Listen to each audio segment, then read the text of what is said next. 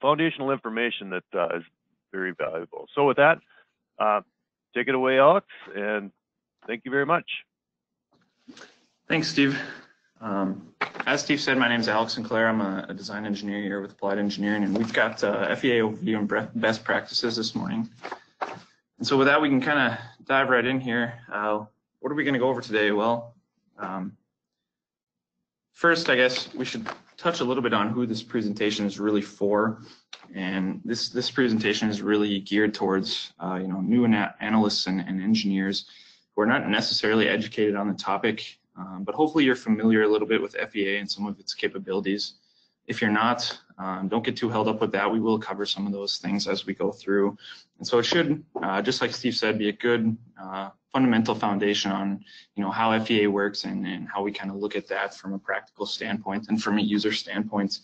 Uh, again, we'll go over uh, the fundamentals and, and, we'll get into the FEA process um, in detail and a lot of the general steps and some of the considerations that we need to be aware of uh, for those steps. We'll take a little bit of a, a look at best practices, um, things that I typically do to set up robust and, and compu computationally inexpensive models um, and we'll, we'll, we'll even highlight, you know, some of the challenges and some of the things that prevent us from, from carrying out, you know, quality FEA in, in certain situations. So that, let's jump right in.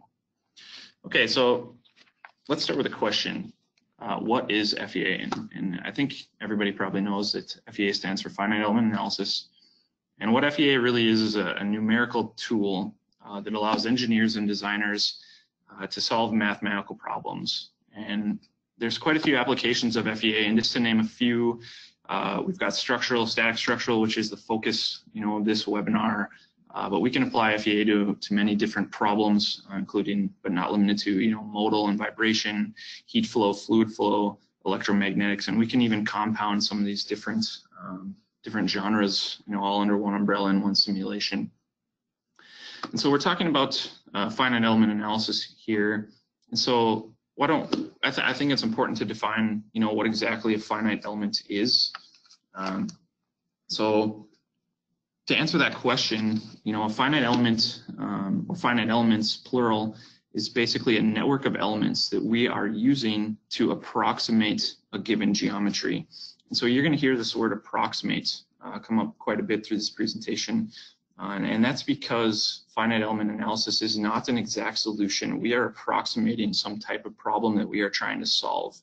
Um, and there is approximation built into every step of the FEA process, and, and that approximation can be minimized and be very accurate, you know, given the right considerations. And so back to back to the finite elements. Um, basically, we're using a network of finite element finite elements to uh, to model or approximate some geometry. And I've got some pictures of some wrenches here um, that approximation that we use those finite elements to make, you know, can be, you know, very coarse or can be very fine. And so the more finite elements that we use to approximate that geometry, typically the more accurate our simulation will get. And you can see that uh, with these wrenches here.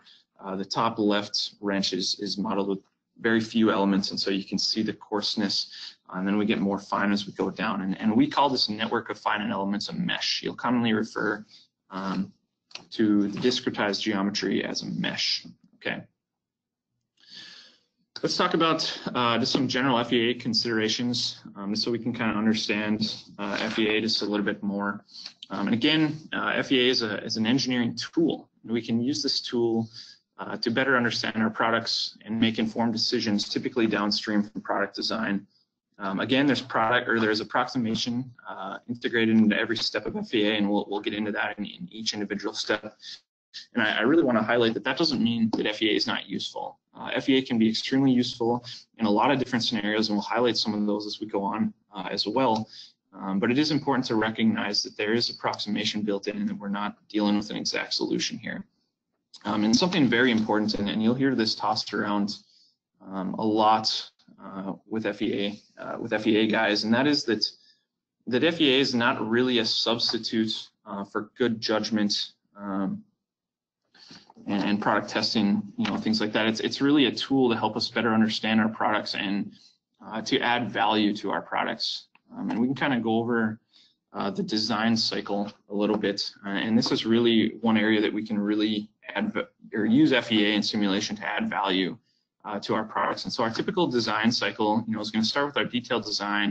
You know, we might conduct some design reviews and, and, and iterate a little bit internally until we're comfortable um, with our models. And then we're going to move on to, to building, uh, that could be prototyping or, or even building production units depending on, you know, volumes and what our goals are and things like that. And we'll finally, we'll either send this out to the field, you know, for operation, or maybe we'll do some testing or, or some, some product validation in, in the shop, or maybe we'll test it in the field. Um, and if we, if we start learning things this far downstream, you know, during building and testing, you know, that'll cause an iteration loop and we'll have to go back to design to make improvements. And so once one area that FEA really adds value, like I mentioned, um, is kind of shortcutting that loop. So if we can go from design to analysis and then back to design, that can add a lot of value by saving, you know, a lot of resources, both time and financial, um, you know, by saving uh, some of those cycle times. And uh, again, FEA's, you know, it's really not a substitute for good judgment um, in product testing you know, it can add a lot of value, and and in some cases we can kind of mitigate, you know, doing doing some some of that prototyping and things like that. But anytime we are uh, working with, you know, a product that you know is going to have somebody standing on it or something like that, we're always going to want to do a little bit of testing. But FEA, you know, again, can be very valuable there. Another thing that you might hear a lot of times when you're working with FEA, especially if you don't have a experience analysis, or maybe if if you do, he might toss this this phrase around, but uh, garbage in equals garbage out with FEA. And so if we can't properly define our analysis, then we cannot trust the results that come out. Um, you know, in this in this day and age, most of our, our CAD programs have built-in FEA tools, and the ability um, to run CAD and, and being proficient in CAD skills does not translate, you know, in the ability to effectively carry out uh, FEA. And so uh, I, I think it's very important to to have a general understanding of how FEA works and, and a foundation in structural mechanics, you know, can also be, you know, very useful in, in helping to, to verify and validate some of these models. And so uh, I've got a, I've got a little um, little little study here, uh, kind of an example of, of poor FEA performance. And so I don't know how to pronounce this. I think it's a Swedish word, but the, the, the Sleipner A offshore oil platform, and that's sunk in 1991. Uh, and when they when they went through and conducted the safety review and the, and the um, the failure, you know, study on why that oil platform sunk, uh, it turns out, um, and in the picture there, we can see the ballast that's it's kind of holding. It's kind of an animated little GIF, but the the ballast that's actually holding that oil platform up, and those uh, those ballast tanks were stabilized by what was called a tricell. And so I have a, an image of the tricell that's placed in between those ballast tanks there. And it turns out that the FEA that was done on that tricell uh, underpredicted the shear stress by 47%, and that was enough to cause failure of that tricell, which led to the total economic loss of over $700 million um, in 1991 dollars uh, for that oil platform. Uh, following the failure and, and, the subsequent failure study and review, uh, they reperformed the, the finite element analysis um, and, and properly set it up, and they did predict failure uh, of the tricell. And so this is kind of a catastrophic example of, you know, FEA gone gone wrong. Uh, so with that being said, um, I don't, I don't. My point isn't to to scare anyone away from FEA, but just to just to know that um, making decisions based on FEA data can have consequences, and so we want to uh, we want to fully understand these models and how they're working. And, and so I guess with that being said, we'll jump right into the fundamentals. And so the next two slides are going to be uh, a very high overview of the first day in an academic FEA course. Uh, basically the mathematics behind you know a linear elastic FEA model. And so let's let's jump right in. Um, and so you can see on the screen here we've got F equals KD. Uh, that F is a vector of element nodal forces.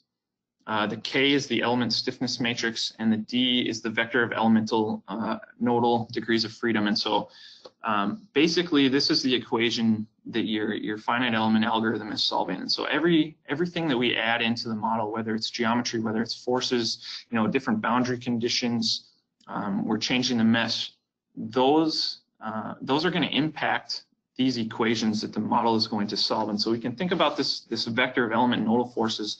That's going to be the, you know, some of the boundary conditions that we're applying like forces or pressures Um, and that's going to represent the forces at all of the nodes in the model, right? So we're discretizing or we're meshing the model with finite elements. And so there's going to be nodes on each element. So what we're really dealing with here is the position of all those nodes and the forces that are, that are transferring from node to node. Uh, the K is the element stiffness matrix, and that's basically made, uh, that's generated when we, when we mesh the model. And so changing the mesh will change the K matrix. Our material properties are also built into the K matrix. So depending on, you know, what material we're using, um, this is linear elastic. So we're probably, you know, kind of sticking straight with, uh, you know, non-yielding metals uh, for this example. Uh, but that's all generated and populated, you know, when we mesh and when we add our material properties. And then these are our vector of elemental and, and nodal degrees of freedom. And so that's, you can think of that as uh, basically the nodal displacements, right? So where are our nodes at in space? What is their position? And when we apply load, how does their position change? So that's actually what we solve for when we solve and we, we, we click the solve button in the software. We're going to solve for the displacements um, and the nodal positions of each and every node in the model under the loading that we've we've provided. Okay. And uh, here I've just got kind of an example. Um, a lot of the FEA models that, that I've worked with, I mean, we can have millions of nodes in those models. And so we can get a pretty lengthy list of equations. And so this is kind of what those equations look like. It's just your standard uh, linear algebra matrix equation. And so again, uh, I want to re-highlight that uh, it's the nodal displacements that we're solving for when we hit the solve button. And when we get those nodal displacements, um, we can apply those nodal displacements into our, our material constitutive equations, right? So I've got uh, the nodal displacements uh, circled here for you. And so these are these are the, the constitutive equations for a, linear elastic uh, metal. And so we can use those nodal displacements to calculate our strains, okay? And we can use our neo-Hookean material behavior to calculate our stresses from our strains. And so we've got our normal strains on the left and our shear strains on the right, okay? So again, this is kind of uh, just a brief overview. You know, when you're clicking around in the model and adding different things, it's, it's, it kind of just gives you an idea of, of how you're conditioning, uh, you know, these equations uh, to be solved by um, your your FEA algorithms and your in your software. So let's move on. So I, I did mention um, that we're kind of focusing on linear FEA, but I will I will briefly touch on you know some nonlinear aspects, and, and the first one is you know how can we make a model nonlinear, and what does that exactly mean? And so there's there's several sources of, of nonlinearities for structural analysis, and the first one uh, the first one is geometric nonlinearity. Uh, geometric nonlinearity occurs when we have large deflections or rotations uh, present in our in our finite element model due to the loading, right? So if we're deforming quite a bit or rotating quite a bit, um, we'll have a geometric nonlinearity due to that. And, and what that really does to those equations is that K matrix basically will need to be updated uh, based on the deflection. And so we'll have to use an iterative solution process to solve that. And we're not going to get too much into um, you know these nonlinear topics, but I just I just want to highlight you know some of these different things that do make our models nonlinear. Uh, contact is another big one. So anytime we've got any kind of frictional contact or frictionless contact, um, those are going to make uh, those are going to generate contact equations, and those are going to be nonlinear, and so that's going to cause an iterative solution process. Um, and the last one, and, and, probably the most common that people would think of, uh, is our material nonlinearity. Uh, so if we've got, you know, if we're looking at metals, you know, post yield or, or different plastics or hyperelastic materials, um, or even or materials that exhibit hysteresis properties. Um, hysteresis is, is a phenomenon of a material to absorb energy under cyclic loading. Um, so modeling those type of properties, that's all gonna, you know, uh, turn out to be nonlinear solutions. And so I've got a, uh, a graph on the upper right here of, of uh, our typical uh, metallic stress strain curve. And I, I, have this in here just to highlight um, that typically we're used to engineering stress strain when we're, we're in the lab and conducting uh, you know, material tests, or even if we go, you know, on the internet and look for some material test data, typically we're going to find, uh, you know, engineering stress strain data. Um, and, and we all know that, that uh, engineering stress strain data differs from true stress strain data because it doesn't take into account uh, the reduction of, of cross section during the test so that material is deforming and that uh, that that red stress strain curve there is not taking that uh, reduction in cross sectional area or, or deformation into account. Um, and when we're when we're working with FEA, we want to capture that, right? We need to capture the realistic material behavior and integrate that into our model. And so we need to be using uh, true stress and strain if we're if we want to integrate, you know, a nonlinear material model um, as far as the metals go. Uh, we talked a little bit, um, you know, about these these nonlinear uh, issues, but or, or ways we can we can build nonlinearity into our model. And really, what I wanted to highlight with that is, you know, what is the consequence for having a nonlinear model? And and I, I mentioned this as well, and, and that's that we have an iterative solution process. And what that really means is is that we can't directly solve our model anymore. It's not a it's not a simple algebraic equation that we can just solve for the single variable that's left in the problem. Uh, we have a nonlinear set of equations, and so we have to use iterative solution, which basically means we're going to guess and check at it. And so what the algorithm will do is it'll guess at a solution, and then it'll solve based on that guess, and then it'll make a new guess, and it'll keep doing that until the difference between guesses is very small.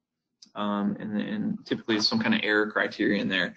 And once we've once we've minimized that, you know, the difference between the two guesses, we will consider that a converged solution and that, uh, that that is the answer to our nonlinear solution.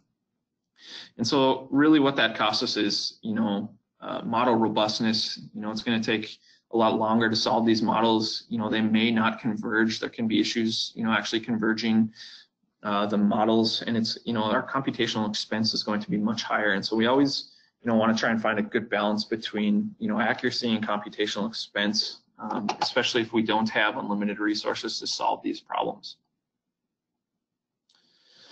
let's get into um, kind of the process of, of FEA just a little bit and, and how we get started with that is, is talking a little bit about analysis definition. And I think this is a very important step um, just because we really, you know, we really need to think about everything before we start the analysis and we need to clearly define, you know, our goals and expectations so that we know how um, we can carry out the analysis and, and that we can have some expectation on what the results are going to be. If we're blindly setting up FEA models, uh, you know, we might um, get some data that we can't necessarily trust, or or maybe we don't even know that we can't trust it. You know, and that can that can be a big issue. And so we we want to spend some time and and understand, you know, what we're trying to get out of the analysis. You know, what kind of downstream decisions that we're we're looking to make with that data, and and even what our expectations are. Um, and this is going to tell us, you know, whether or not that that the analysis is going to be value added. If we feel comfortable, we can get results that we can make downstream decisions with, uh, then we can determine, you know, whether or not those those decisions can add value. And so determining the strategy for carrying out that analysis, you know, is very important. And also, you know, taking some steps to see how we can validate or verify our results. So whether that's, you know, take a look at some some classical analysis techniques, or or maybe we need to test the the the parts a little bit and see if we can get, you know, some kind of correlation out of that. That that can be very important. A lot of times, what I'll do uh, for sure on every model is at least calculate reaction forces uh, with your traditional statics and make sure uh, the output forces on the FEA model, you know, are exactly, you know, what, what I'm getting on the statics. That's usually the case um, unless you have some really complicated geometry. We should be able to get pretty close on, on those output reaction forces at our, uh, you know, our boundary condition locations. Um, and then, and then the last planning step that's, that's also very important is you know, what assumptions and simplifications can we make? And, and these are really a, can be a difficult um, thing to kind of nail down with FEA. And we'll talk about these in detail, but um, the assumptions, really what we're talking about there is, is can we simulate real world loading? You know, can we, can we, can we, you know, accurately capture how this thing is loaded or going to be used in the real world? Um, same thing with boundary conditions, you know, where are we going to take the load out? You know, can we take it out you know, just like it's going to be taken on in the field. So sometimes these models can be um, more of an approximation in in that regard if we're if we're not sure exactly how to to apply those boundary conditions. And so this can be you know a real important consideration. And, and we'll talk more about simplifications to the model uh, moving forward. I'll briefly touch on the analysis workflow here. Um, this is just going to be kind of the general steps of setting up an FEA um, model and, and carrying out some analysis and we'll get into each individual step um, in detail, know, on the on the subsequent slides here. So we're always going to start uh, with some kind of geometry. Now, whether that's a piece part, maybe we've got an assembly, um, we're going to need to do as much simplification and, and prepping that geometry for the finite element process as possible. And so a lot of times with models that I've worked with, we'll spend up to 90% of our time, you know, just prepping the geometry, you know, for the analysis. Actually applying the constraints and things like that is fairly straightforward um, as far as, you know, clicking around in the software and, doing that. So really prepping geometry is, is what's going to take the longest. One. And again, we'll get into that more. Uh, the next three steps are kind of interchangeable. They all happen at, at very similar time points, but we're going to need to pick some elements. Uh, there's a lot of different types of elements we can use, and, and again, we'll get into that. Um, but it's important to kind of know, you know, some what the different types of elements are and what the what the consequences and drawbacks are are for using different types of elements. Uh, we'll discretize the geometry. You know, we'll create our mesh. Uh, we'll approximate that geometry with all our finite elements. Uh, moving on to our connections, and this again, connections could be made before we we choose our elements. Um, but I've got it fourth here, and so if we if we're working with an assembly or some kind of more complicated geometry and we want to make some connections, uh, this is where we would do that. And following that, we'll apply our loads and boundary conditions. Okay, and so these five steps together uh, basically are our, our pre-processing steps, right? We're we're pre-processing the model. Uh, once we're done pre-processing the model, we'll go ahead and carry out our analysis. We'll solve the model.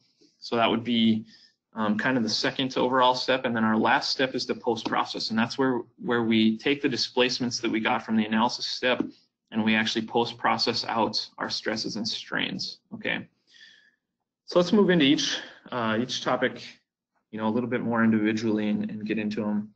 Um, so starting with the geometry and the elements, uh, I mentioned, you know, some simplifications. We, we always want to find a good balance between a, simplified and robust model and, and accuracy, right? And so um, one thing that we'll typically do is we'll remove, you know, all non-structural components. Any component that, you know, doesn't have a load path or, or add to the stiffness of your assembly or model, we want to remove those, right? Because we don't want to be meshing those components um, and, and, increasing computational expense and complexity in our model. So, so we'll remove those. Uh, insignificant features uh, I'll typically also remove things like small fillets, small chamfers, even small holes. Um, we'll remove those. Those take a lot of elements to capture that that detail and, and those small curves and, and chamfers and things like that. And you know, we might get some questions that says, "Hey, why would we remove those?" Uh, you know, we know that we can get stress concentrations at sharp uh, points in geometry if we take out our, our little fillet radiuses and and chamfers, and we're going to have sharp you know, corners in our model. And so really, uh, we're going to remove those, you know, just to increase the robustness of our model. And we can also still consider our model to be conservative, you know, if we remove some of those features. Once we've kind of, you know, determined that our model is robust and that we can easily solve it and we're getting results that make sense, you know, if we've got some concern areas in the model, you know, where there's maybe a high stress where there was a fillet radius removed or something like that, we can go back in and add those features you know, where we need them. Um, I think that's uh, that's a good kind of workflow, you know, in order to ensure that that we're being as efficient as possible. Another another bullet point here that we have is symmetry, and this is something that I see a lot. Um, it, it's ignored quite often uh, with new analysts. We'll uh, we want to generate that pretty picture of the whole model, but really you know, if our model has symmetry, whether it's, you know, axisymmetric symmetry or planar symmetry, we can start dividing that model, you know, in half or, or uh, the, the model here I've pictured, we could actually divide into a quarter. We can just keep a quarter of the model and apply a symmetric boundary condition. Um, that'll be much more computationally efficient and still accurate, right? It's still gonna have the same accuracy as your full, model. It's just gonna take much less time uh, to solve. It'll be much simpler. So that's a, a very important consideration. Uh, the next next topic is uh, something that that I tend to use quite a bit, uh, and that's we'll talk a little bit about solid versus shell elements. And I think uh, most of us, if we have carried out any finite element analysis, you know, in our in our CAD tools or or even just you know in academia or, or wherever it may be, we typically use solid elements. So solid elements are great elements. Uh, they they capture the greatest amount of detail and accuracy. Uh, but there are some drawbacks to using solid elements. Uh, first, they're very computationally expensive. right? If we if we're using solid elements, it's it's very likely we're going to have a lots of solid elements, and that's because typically uh, we need to to have multiple elements through the thickness of you know any given component. So if we've got very thin components, we need to ensure that we have several solid elements through this thickness. And the reason for that is uh, it's it's based on the degrees of freedoms in the element formulations, but basically uh, low order solid elements uh, only have three degrees of freedom. You've got your X, Y, and Z translations, and, and we won't get too much into that, but basically uh, what that means is that we have trouble capturing bending with solid elements if we don't have multiple layers of those solid elements.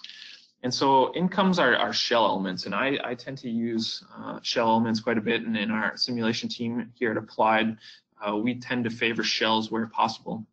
And a shell element is basically a 2D element. Okay, we're removing the thickness from play. The thickness is actually uh, compounded into the into the mathematics, you know, in the formulation of the element. So we're still uh, we're still capturing our thickness, but we're using a 2D element to do so. Okay, and shell elements are very accurate and they're very computationally inexpensive. Uh, the issue with shell elements is it, it, can be tough to know when to use them. There's no real rule of thumb.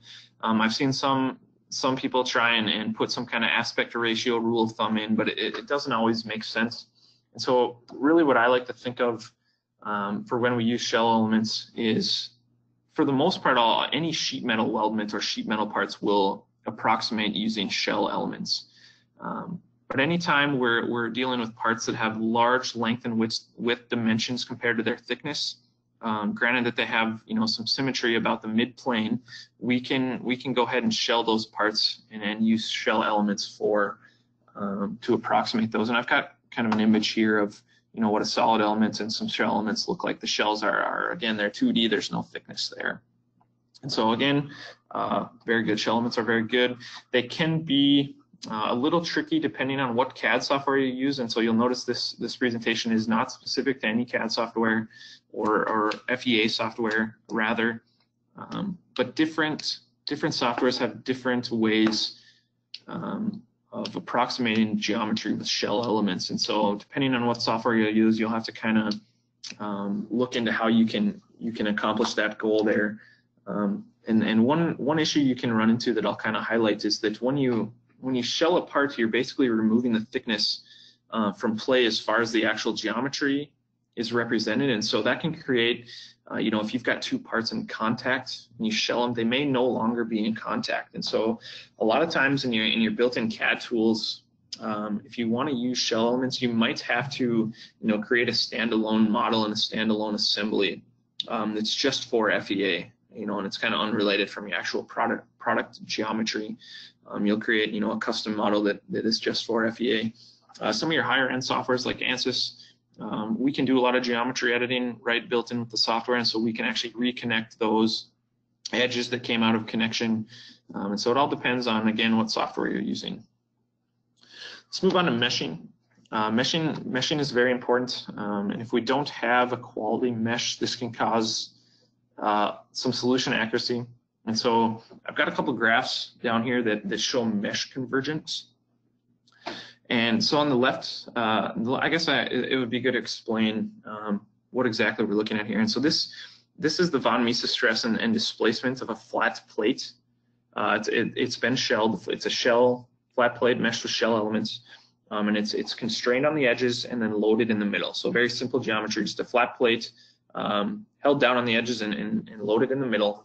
And so these these two graphs here are showing uh, the von Mises stress and the displacement versus how many elements we're using uh, to mesh that flat plate. And so we can see that the more elements we use, we can see that the solution is converging. And so basically what we want to think of here is, is solution accuracy. Now this isn't tied to, you know, whether our, our, the problem we're setting up really models a real world scenario. This is just telling us if our internal solution is converging on a specific value. And so um, on the left, we can see that as we use more elements, uh, you know, we're converging that von Mises stress at about 21,000 psi. And on the right, as we use, you know, the same number of increasing elements, we're converging that displacement at 0.0124 inches. Okay, and we can see, especially with the displacement, uh, excuse me, displacement, that you know, if we use a very small number of elements, we're going to get quite a bit of error. Okay, and so sometimes it's important to to conduct some of these mesh convergence studies and make sure that um, make sure that we are converging our solution and that if we change our mesh a little bit, we're not getting a drastically different result. Uh, and so it's, it's, important to understand that and, and, make sure that we're trusting our models in that way. Now, one uh, one other kind of caveat to this, uh, and somebody may be thinking of this, but um, and that, that that would be the presence of a, a, singularity in your model. So singularity is is somewhere in the model where we're basically we have some load flowing through an element in the model, and and there's not much area or, or there's a sharp change in geometry that's causing the, the amount of geometry reacting that load to be very low. And so if we think about it in a, in a you know axial stress scenario where we have you know some force divided by the area, if that area is very small, our, our stress is going to go to infinity.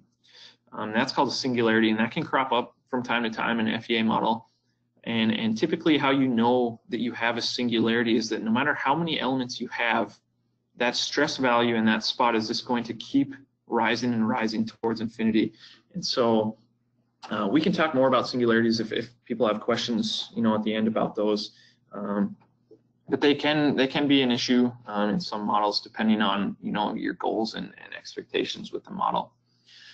Let's talk a little bit about connections. Uh, connections are are more of an advanced topic uh, in FEA and, and, understanding how connections work. We're we're going to cover a couple of the, the more simple connections um, and kind of how we can set those up.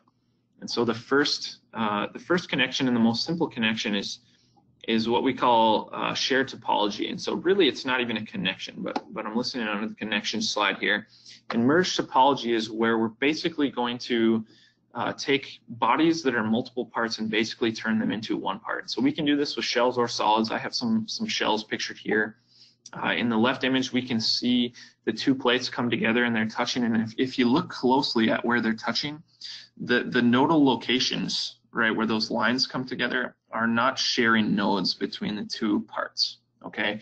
And so if we wanted to bring those into contact, we would have to create a connection. Now, if we merge the topology or basically condense the two parts into one, like in the upper right picture, you can see that the two parts are now meshed together and they're sharing nodes. And so that's going to transfer load through there like the two bodies were basically one body. And, and a lot of times uh, the team here at Applied will will try and do this for, for weldments. You know, if we've got uh, multiple sheet metal parts that are coming together and being welded, we can merge the topology. Sometimes we'll have to do a little, you know, ge geometric editing to, to make that work. Um, but we'll merge the topology, and that's a very robust and linear way uh, to approximate that geometry, and, we do it quite often. Uh, moving down down to the next connection, uh, we'll talk about bonded connections a little bit here. And so bonding connections are, are, typically linear. We can think of a bonding connection as basically gluing two parts together. And, and how, and, and this kind of goes for all types of connections, but we're specifically going to focus on bonding bonded connections here. But we'll typically, whether your software has you define the individual surfaces or not, sometimes it'll define them for you, but you'll, you'll basically be scoping a contact and a target surface. It could be edges or it could even be a vertex. Uh, you can bond all kinds of things together. You can basically bond anything to anything. And, and what we're really doing there is we're telling the software to glue those nodes together. And so how the software is going to work is it's, it's going to minimize penetration. So if we think of those contact nodes and elements on the upper surface there and, and the target surfaces on the bottom, the software is going to make sure that those nodes and elements have minimal penetration uh, on the other nodes and elements. And so we can kind of have some control um, over how that process works with our pinball radiuses. And so every every software has pinball radius inputs, whether it's, you know, some of them you have to go in and find the setting. Some of them you, you can specify, you know, fairly easily on the front end. Um, but our pinball radiuses basically will tell our software, you know, how much or, or how far out to look for elements and nodes to bond together. And so we can use that pinball radius um, to kind of tell the software like, hey, we want this to be a pretty fuzzy connection, or no, we want this to be a pretty tight connection. Um, we want specifically these nodes and these nodes to be glued together. Um, and, and, and, what we've seen in, in this picture kind of demonstrates it pretty well, is that those pinball radiuses are pretty big, um, kind of shown compared to the geometry at least. And so where those yellow lines are, we can actually create you know, bonded contact between nodes that aren't actually in contact with each other. And so we can use that to simulate, um, you know, a little bit of a, of a excess weld that, that might be in there. So we can we can transfer load, you know, from node to node that aren't necessarily real close to each other. Uh, you know, or we can we can condense those pinball radiuses down, and we can really limit, you know, the nodes that are transferring the load. And so, really, the take home uh, on these these connections is that we need to take some time and make sure that we're accurately modeling our load paths, right? That's the most important thing to capture. Um, depending on the types of connections you use, you know, your, your connection stresses and strains may not be accurate, but as long as you're transferring the load through the geometry uh, and that load is able to get to the areas of interest, then you can rely on those results, right? And so uh, again, that's that's really the take home from this is to we need to make sure to model our load paths appropriately. I think we've got a little bit more on the connections. Um, I'll just briefly highlight some other types of connections that are generally nonlinear, uh, less stable, and, and you know some of these require a little bit more of an advanced understanding. Um, and some of those examples include joints, and I've got a picture of a joint on the bottom right. And so what a joint really is is it we're constraining uh, some of the degrees of freedom on the selected elements and, and nodes on those elements. So for example, we've got a hinge pictured here. And so we've got, uh, you can you can see the coordinate system on that hinge. We're gonna allow uh, that hinge to move on that blue axis of the coordinate system, which turns out to be the z-axis. And so we're, we're constraining, again, we're constraining nodal degrees of freedom with the joint. Uh, those can be a very robust way to set up some assemblies. However, typically with a joint, your, your stresses may not be accurate at you know, at that joint location, but it's a very good way to transfer the load, you know, through that joint. Um, some more, you know, more accurate ways of modeling typical joints, whether it's, you know, pins and bushings, or maybe you just have general contact like pictured in the upper right. We've got a cylinder and kind of an eye there. Uh, we can use frictional or frictionless contact to set those up. Um, and then, you know, the those are quite a bit more complicated and um, they're going to increase your computational um, expense when we're using those types of connections. Let's get into boundary conditions, and, and this is a big one. Um, this this tends to be one uh, one area of finite element analysis that that can you know cause some issues or or some a little bit of pain anyways in, in setting things up and so really what we need to take a hard look at is is can we accurately represent applied loads and boundary conditions right? And so that's something that we should have absolute confidence in. And we don't necessarily always need, you know, maybe we can't um, necessarily model the exact applied load or the exact boundary condition. Maybe we're not so sure. Um, but one other thing we could we could take a look at, you know, if we have trouble with that, is we could look at, you know, performing a comparative analysis. Maybe uh, maybe you have an existing field tested design that's been in, in industry for 10 years and, and you know it doesn't have any issues. Uh, we could always run, you know, some type of finite element analysis on that component. And then we can do a comparative analysis. Maybe you've made improvements to design. We can run the same loads and boundary conditions and, and do a little comparison. And then we can kind of say, you know, is it better or worse? And, and so that's something that we look at doing if we can't really mimic real world scenarios. Um, but just moving into some, some boundary condition considerations, uh, a lot of times we see over constraint uh, being one major issue, and that's typically with fixed constraints. Uh, fixed constraints are, are, provide a lot of stiffness to our models. They're they're pretty easy and, and provide very stable solutions. So we tend to see those used quite a bit, but um, really a fixed constraint is, is rarely the right choice. There's not, you know, not very many connections or boundary conditions that are going to be infinitely stiff. Whatever you're connecting to or wherever you're taking out that load is probably going to give a little bit and, and be able to deform. Um, I've I've carried out countless um, countless FEA simulations that you know we compare the difference between different types of, of constraints versus fixed constraints and and the fixed constraints always yield drastically different results and, and I actually included an example uh, an example of that here. And so we've got, uh, this is a this is a ramp that, that I ran a study on. And so this ramp, uh, this ramp is loaded in the middle. It's got a hinge point in the middle. It can, it can fold in half there. And you can see those A and B tags on the end. That's where we're applying our, our constraints, okay? And so if we make A and B a fixed constraint, you know, we've got a pretty stiff model. The load can transfer through there uh, you know, relatively easily. And, and this is uh, this is a you know a, a, detailed view of that hinge geometry. Um, so we can see it's pretty cool. Uh, the stress isn't too high. And so something like this would, would give us a lot of confidence and say, hey, this, you know, this, uh, this product is, is going to be good. It's the stress is low, uh, no problem, right? Well, it turns out when we, you know, use some more realistic boundary conditions, um, the hinge, the hinge is an issue, right? We've got some really high stresses that go through that hinge. Uh, it turned out that this ramp was actually tested uh, with this geometry and it failed in two cycles of loading. And so we really want to make sure that we've got realistic boundary conditions and you know that we're that we're not tr necessarily trusting results uh, that, that have got the fixed boundary conditions. Um, in certain scenarios, fixed boundary conditions can be appropriate, but uh, like I said, in general, um, they can be you know a little overly stiff on our model.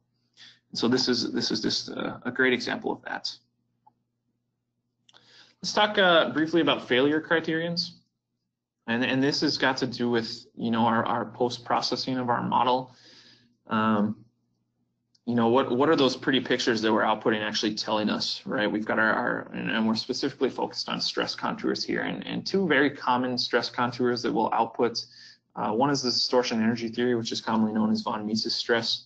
And, and we can see the envelopes, the failure envelopes to the right. Um, but von Mises stress is typically a very good predictor for, for ductile failure. But one, one shortcoming of von Mises stress is it doesn't differentiate between tensile and compressive stresses. Um, and, and those two types of stresses can, you know, be have very different consequences on your geometry.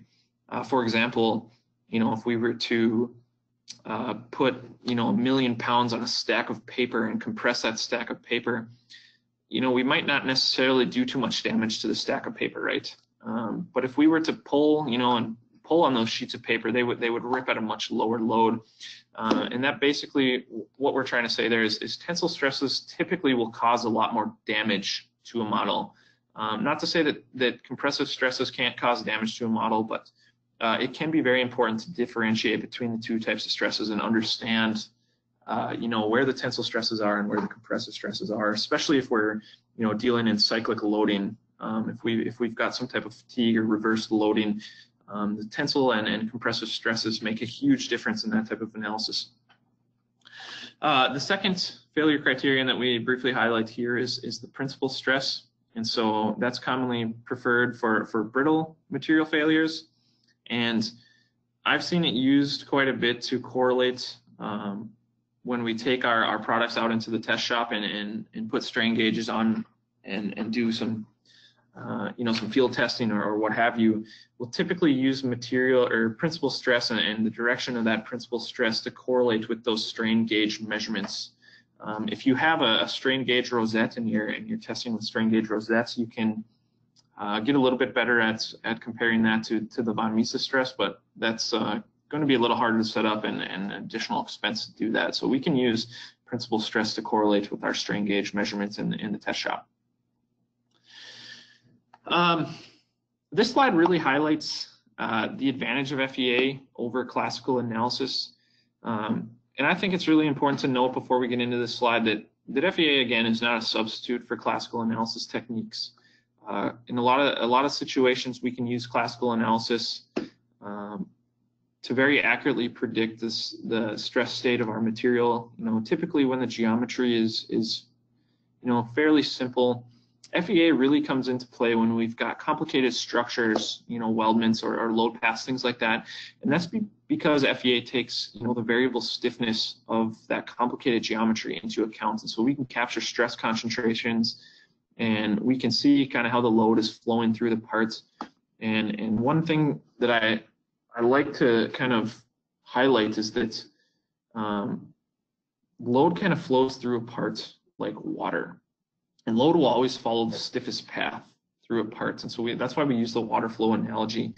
Um, if we're trying to get that flow, that water or load flow to go through a parts efficiently, we want to make sure that, that it doesn't have to change directions too many times, right? If we're if we're forcing that load to change directions as it moves through our components, we're going to get you know higher stresses and more uh, more stress concentrations in that geometry. And so that's just kind of a general design guideline. It, it doesn't have too much to do with FEA, but um, it is important to, to realize, you know, kind of how load flows, and then you can you can use that knowledge a little bit when you're looking at the results of your FE model to to kind of uh, you know gauge you know how the load is moving through, and and you can use that information to help make you know downstream decisions on you know how to make improvements. And so it is important to to understand that.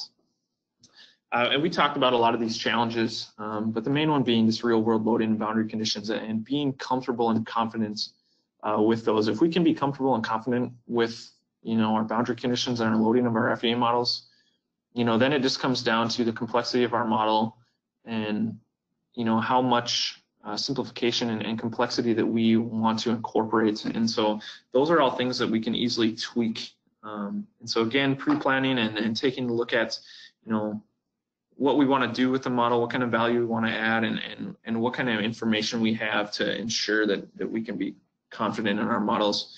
Um, again, I talked a little bit about comparative analysis. You know, sometimes we can use use that to, um, you know, create an acceptable analysis.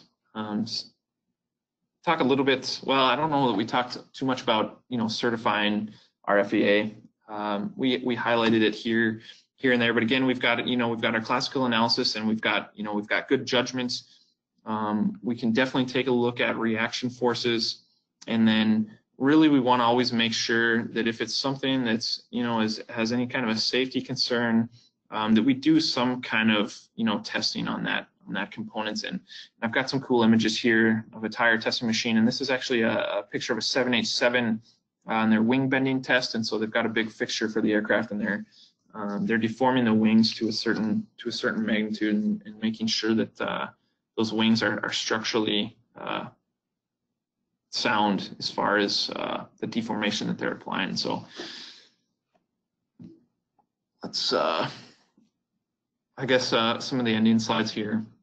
Uh, if you are you know, if you do have a simulation program or you're looking to create a simulation program, ISO 9001 document R0013 can be um, can be valuable. Basically, it's it's the formal guidelines for setting up um, an analysis program as far as, as as quality monitoring goes.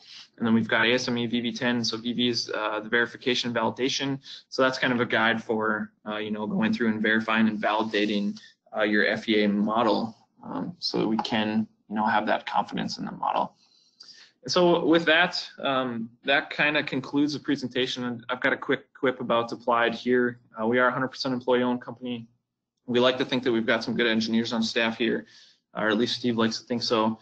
Um, we do try to be flexible with our customers, and, and, we like to help out in all kinds of different projects, and so uh, we, we do really enjoy doing that. Uh, we have done quite a few different simulation runs for varying customers. Um, we like to reduce, or a few things that we have uh, been able to do for our customers, I guess, reduce some prototype costs, uh, accelerate design cycles, that's a big one.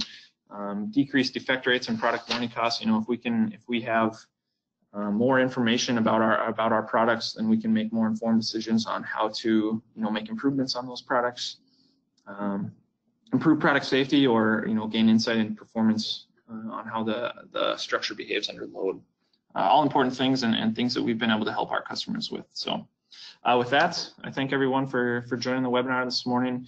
I've got my contact information here, uh, both email and my direct dial. If you have any questions, um, you can feel free to contact me anytime. But other than that, we can open up uh, we can open up for questions if there are any.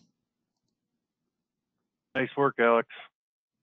Very good. Um, one question did come in via email that um, elaborate a little bit more on junk in, junk out, and how do you determine what the proper loads are?